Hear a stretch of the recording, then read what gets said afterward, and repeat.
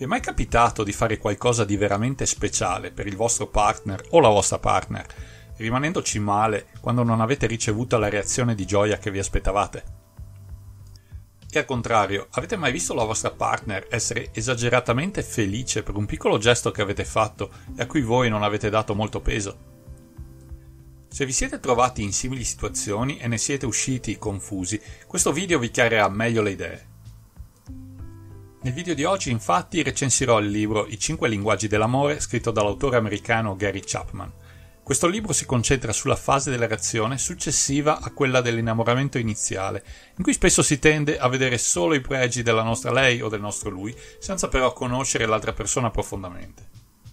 Solo quando la relazione entra in una fase di routine, spesso emergono i difetti e mancanze dell'altro, passati inosservati, anche se presenti, durante l'innamoramento iniziale, perché come si suol dire, l'amore è cieco. Secondo Chapman ci sono cinque modi, anche chiamati linguaggi, per comunicare il nostro amore alla persona che amiamo, ed ognuno di noi ha il suo preferito. Il problema principale e punto fondamentale del libro è che spesso diamo per scontato che questo coincida con quello del nostro partner, quando invece spesso non è il caso. E qui possono nascere problemi e fraintendimenti. Facendo un'analogia, pensate di parlare in italiano con qualcuno che parla solo in cinese. Molto probabilmente non vi capirebbe e venireste presto a consufarvi l'uno della compagnia dell'altro. Vediamo ora quali sono questi cinque linguaggi e come interpretarli. 1. Parole d'affermazione. A chi di noi non piace ricevere un complimento? Frasi come sei bellissima o sei una mamma fantastica oppure sei molto intelligente e bravissimo nel tuo lavoro non solo ci daranno un'iniezione di fiducia, ma ci fanno sentire amati ed apprezzati. Chi ama ricevere complimenti generalmente ricambia il proprio amore allo stesso modo, e nonostante a nessuno dispiace ricevere un complimento, alcune persone danno più valore ad altre dimostrazioni d'amore, e queste parole non avranno lo stesso effetto su di loro come invece hanno su altre persone. Pensa un attimo, il tuo partner come reagisce ad un complimento? 2. Tempo di qualità. Il secondo punto di Chapman è il tempo qualitativamente dedicato alla persona amata. Questo significa stare insieme senza distrazioni, magari col cellulare spento e semplicemente godersi la compagnia dell'altra persona. Magari facendo una passeggiata insieme, una cena romantica o una partita a un gioco di società.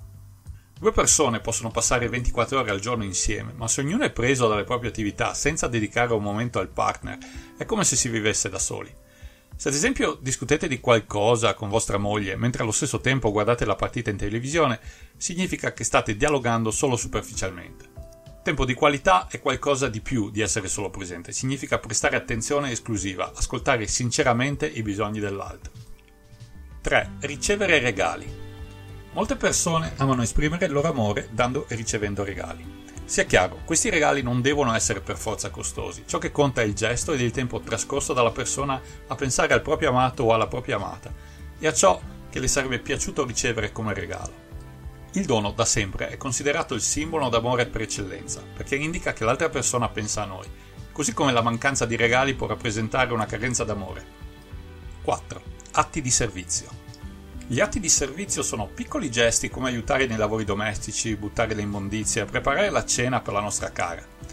Gesti a cui spesso noi uomini non diamo molta importanza e che non capiamo come possano anche solo comparare agli altri quattro linguaggi dell'amore in termini di importanza. Eppure è così, e per molte donne questi gesti, per quanto banali, sono molto importanti. Questo ovviamente vale anche a parti invertite, ma in generale questi piccoli gesti sono molto più importanti per le donne che per noi uomini, che spesso neanche ci accorgiamo esistano. 5. Contatto fisico. Il contatto fisico è forse la forma d'amore più semplice per dimostrare il proprio amore.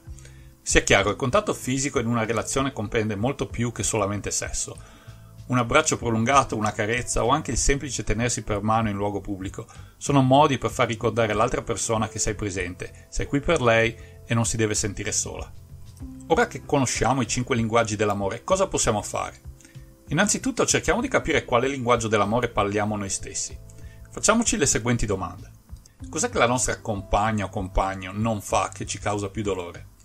Cosa richiedi principalmente dalla tua compagna o compagno?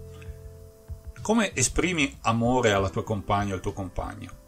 Una volta capito il tuo linguaggio, cerca di capire anche quello della tua compagna e identifica possibili divergenze.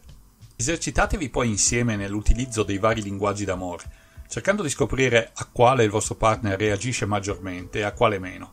Questo esercizio vi aiuterà a conoscervi meglio, rafforzerà la vostra relazione ed eviterà molti disguidi e fraintendimenti in futuro. Se ti è piaciuto il video sarei grato se potessi mettere un like e condividerlo se pensi che qualche tuo amico possa trarne beneficio. Lascia inoltre un commento se vuoi condividere con la nostra community una tua esperienza a riguardo. Se vuoi vedere altri video come questi in futuro e non l'hai ancora fatto, iscriviti al canale cliccando il tasto rosso sotto a destra e attiva la campanella di notifica. In questo modo verrai informato ogni volta che un nuovo video verrà caricato sul canale. Buona giornata!